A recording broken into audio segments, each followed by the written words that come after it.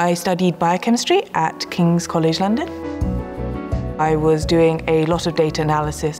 I wanted to think, how can I take this forward? How can you actually use data to make a difference? And Deloitte is leading in AI and data.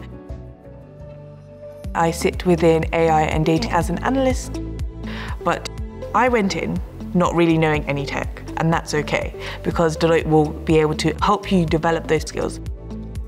Data is something which is incredibly complex to understand and manage. So helping clients to understand how they're storing data, how they're going to use that data to create a better customer experience is so important. In Deloitte and in what I do, we are making a difference to people. In fact, some of the work I've done, I can see the tangible effects, how that affects real people.